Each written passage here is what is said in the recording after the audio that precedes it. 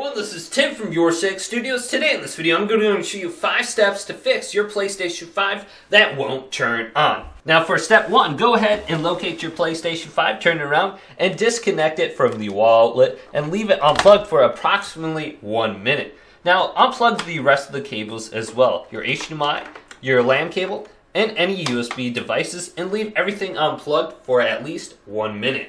Now with everything plugged back in, rotate your PlayStation 5 around and press the physical power button and see if this turns on your device. Now for step two, locate where your PlayStation 5 is plugged into a power source and plug it directly into a wall outlet or go ahead and try plugging it into a different wall outlet. Now for step three, locate a DVD, Blu-ray, or a game disc and try to put it into the disk drive on your PlayStation 5 and you'll notice a beep and your PlayStation 5 will turn on. Also, you can locate a USB cable just like this and plug it directly into the front of the PlayStation 5 and then plug the other end into your controller and press the PlayStation button. This can also force turn on your PlayStation 5. So let's press this button. Then another thing you can do is locate the physical button right here and press this down numerous times and then try holding it down to see if you can get your PlayStation 5 to turn on. Then for step 4, go to the back of your TV or monitor. Go to a different HDMI slot on your TV, so if you have it plugged into HDMI 1, go to HDMI 2, 3, or 4. Otherwise, you can try using a completely different cable or flip your existing cable around so the TV end is plugged into your PlayStation 5. Now for step 5, there could be an issue with the resolution on your PlayStation 5 and it's not compatible with the TV. So what you want to do is boot your PlayStation 5 into the safe mode menu. So to enter the safe mode menu, you want to completely turn off your PlayStation 5. So you can turn it around and then unplug it from the wallet and then you can plug it back in and just make sure your PlayStation 5 is completely turned off. It's not in rest mode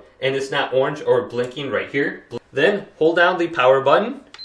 You will hear one beep initially and then about 10 to 15 seconds later, you will hear another beep. And this will start your PlayStation 5 into the safe mode menu. To operate the safe mode menu, you do need a USB cable plugged into your PlayStation 5 and then the other end plugged into a controller. Then press the PlayStation button. So connect the controller using the USB cable and then press the PlayStation button. Now this menu will display and you can go to option number two, change video output. And then you can go to change resolution and change it to a compatible resolution on your TV so you can actually get a signal or an image. Otherwise, you can go to option number two, change HDCP mode and see if this makes a difference. You can go to HDCP 1.4 only, then you can back out of here and you can go to option number three, repair console storage, and then go to yes. Otherwise, go to update system software, and then you can go to option number two, update using the internet. Then you can go to restore default settings, clear cache, and rebuild database. Go to option number two right here. Otherwise, the last option on here is reset PS5, and this will reset your PlayStation 5 like it was new. Everything will be deleted, your users, your accounts, etc. But this should fix your PlayStation 5 as a last resort. So hopefully this video did indeed help you guys out. Did leave it a big thumbs up and subscribe to my channel down below for more tech videos coming up next on Your Six Studios.